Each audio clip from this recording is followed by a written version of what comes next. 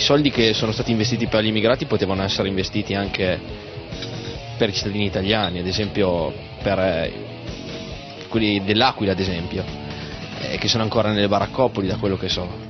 Il muro c'è ma non si vede. A Fontevivo, qualche chilometro da Parma, i profughi non possono entrare. Lo ha deciso il sindaco più giovane d'Italia, leghista, che di emergenza umanitaria, richieste d'accoglienza delle prefetture non vuole nemmeno sentir parlare. Io credo che un prefetto non possa obbligare sindaci ad accogliere quando bene anche il prefetto sa che le condizioni non sono poi così rosee dei nostri comuni.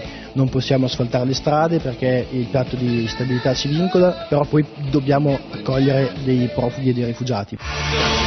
Noi abbiamo detto no perché dovremmo dare loro soldi quando non riusciamo a darli a gente che vive qua da anni, che paga le tasse qui. Vengono qua per lavorare e non hanno neanche voglia di lavorare. Secondo il documento votato in Consiglio Comunale, nessuna struttura pubblica sarà disponibile all'accoglienza e anche i privati che vogliono aprire le proprie case dovranno presentare una certificazione medica sullo stato di salute degli accolti, in modo da non creare problemi sanitari alla popolazione residente. Non ci fidiamo e vogliamo avere una, una sicurezza, dal momento che io sindaco sono diciamo, l'autorità sanitaria del territorio, quindi vorrei essere sicuro che questi migranti siano in condizioni eh, igienico-sanitarie buone. Se non combinassero guai, è quando combinano i guai che poi indispettiscono le persone.